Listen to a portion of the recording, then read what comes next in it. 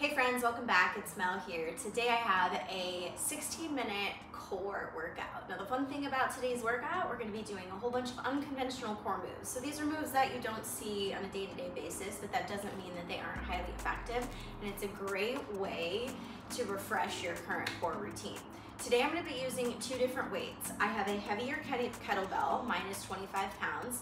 You can use a kettlebell or a dumbbell. I would recommend anything between 10 and 25 pounds for that. I'm also using a lighter weight. I have a five pound weight here.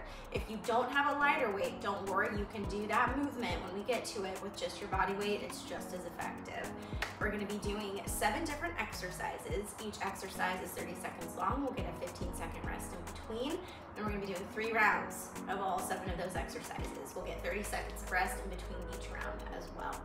All right, without any further ado, let's go ahead and get into this one.